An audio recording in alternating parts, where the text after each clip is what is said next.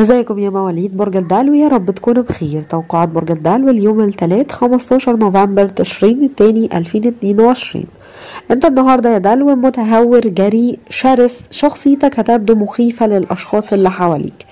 لأنك مش بتتصرف بعقل في اليوم ده. وهتكون حابب إنك تهجم على أي حد بيوجه ليك حتى لو كلمة صغيرة.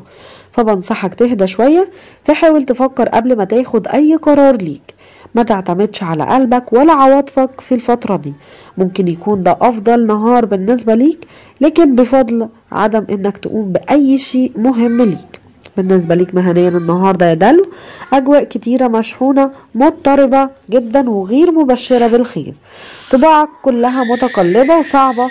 ما تسمحش لنفسك بإنك تتعامل معاها بصورة هادية وكاملة. بالنسبة ليك عاطفيا النهاردة يا دلو هتستمع لنصائح من شريكك هتشتغل بيها بشكل كبير لو وظفت نفسك عليها. انت النهاردة مش هتبقى خاسر في يومك ده. بالنسبة ليك صحيا النهاردة يا دلو حاول انك تقوم بالجري في اليوم حتى لو عشر دقايق. في يومك هتعتبر الجري مفيد جدا للقلب. بالنسبة لحركة الكواكب اليوم فينوس هيشجعنا أكتر على رغبتنا في إننا نتعالى أكتر وهيرفعوا من معنوياتنا بشكل كبير. هيساعدنا العبور ده علشان نتلين ونقوي نفسنا لأننا هنبقى متحمسين ليه. مشاعرنا كبيرة هنتوصل لإننا نتعبر أكتر. هتميل كل الإيماءات اللي عندنا إنها تبقى مدروسة أكتر. هنبقى متفائلين أكتر مبهجين أكتر متعاونين بشكل خاص جدا. ممكن يكون وقتنا مناسب حتى لو كان في شوية كسل لحد ما في وقت للانغماس في الذات عندنا. كل ده هيقلل تسامحنا مع كل الوقاحة اللي بتبقى عندنا والفظاظة اللي بتبقى فيها.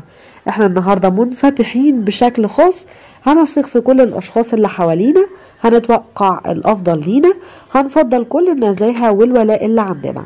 مع كل ده في وقت لاحق من اليوم الشمس هي الكوكب الأساسي لينا.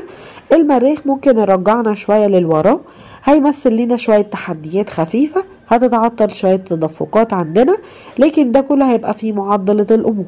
هنعتقد أننا لازم نعمل كل حاجة. التوتر ممكن يبقى بيسبب احتياجات رغبات متباينة كتير.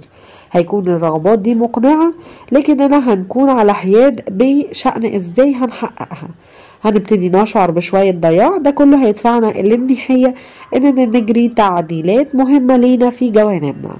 على الرغم من إن الشمس في برج الأسد تنافسي أكتر والقمر أيضا حاكم للجانب ده.